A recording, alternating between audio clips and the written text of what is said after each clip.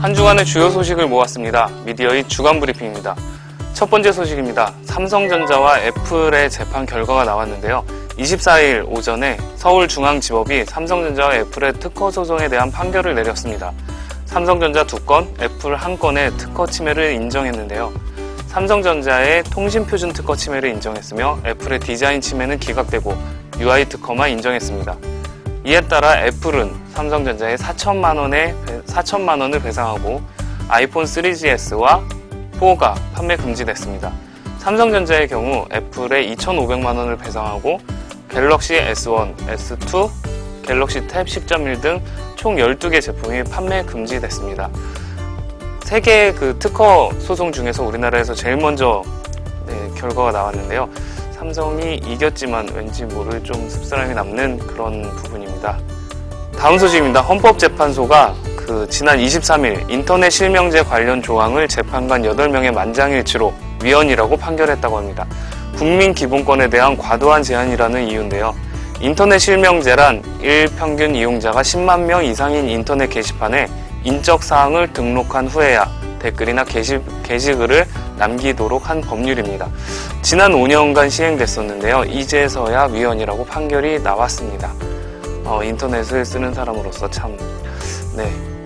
다음 소식입니다. 니콘이 안드로이드 운영체제를 넣은 디지털 카메라 쿨픽스 S800C를 발표했습니다. 내부에는 안드로이드 2.3, 즉 진저브레드를 넣어서 애플리케이션을 다운로드 받을 수 있고 트위터나 페이스북에 사진과 동영상을 올릴 수 있다고 합니다. 소프트 키보드에서 텍스트도 넣을 수 있다고 하는데요. 실제로 사용했던 사용자 중에서는 카톡으로 대화를 하다가 사진을 보내는 그런 경우도 있었다고 합니다. 와이파이와 GPS가 기본 내장되어 있고요. 1600만 화소에 광학 10배 줌 기능을 내장했습니다. 판매는 9월 하순으로 잡혀 있다고 합니다. 한국 IDC에 따르면 지난 2분기 국내 PC 출하량이 136만 대로 지난해 163만 대보다 약 17% 감소했다고 합니다. 유럽에서 출발한 그 경기 불안에 대한 그 심리적 영향으로 소비 지출이 줄어들고 있기 때문인 것으로 분석을 했는데요.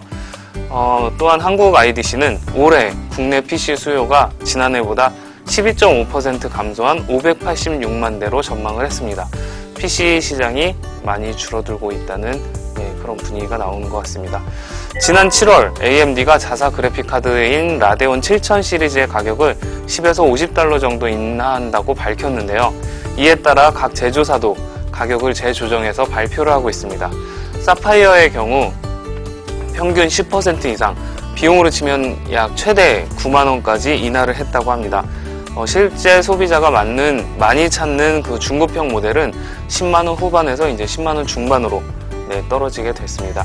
일각에서는 AMD의 그 28나노 공정이 이제서야 안정화가 돼서 수율이 좋아진 수, 수율이 좋아졌기 때문에 어, 이런 정책이 나온다고 이렇게 분석을 하고 있습니다.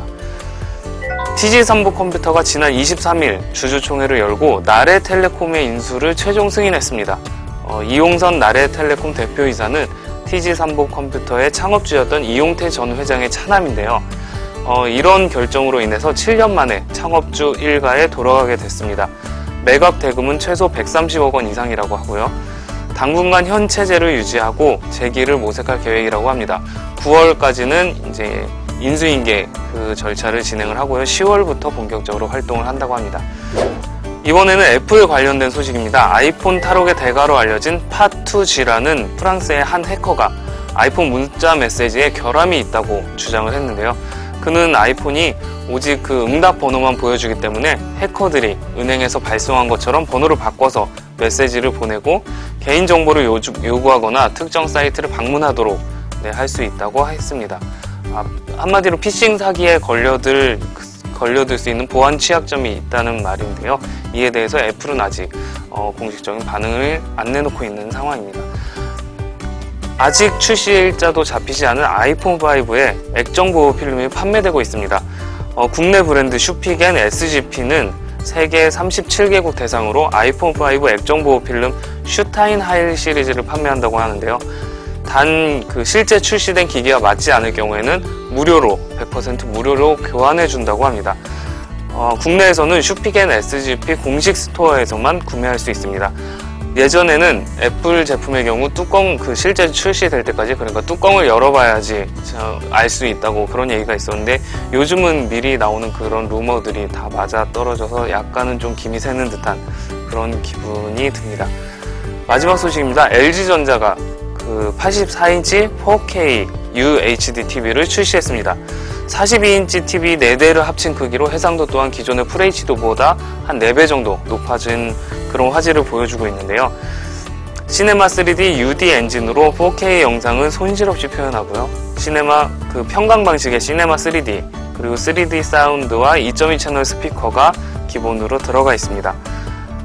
화질이 높아진 만큼 가격도 많이 높아졌는데요. 가격은 2,500만 원대고요. 25일부터 백화점, 하이마트 등에서 구입할 수 있다고 합니다. 해외 출시는 9월부터 시작한다고 합니다. 오늘 준비한 소식은 여기까지입니다. 지금까지 미디어잇 한만영입니다.